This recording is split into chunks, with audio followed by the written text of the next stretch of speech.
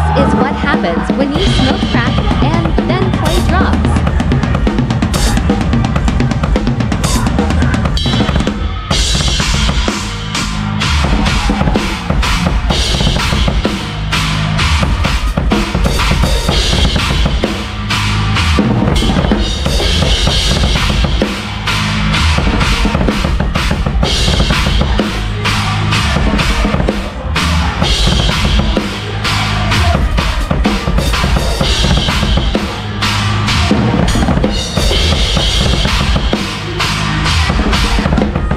okay about the crab.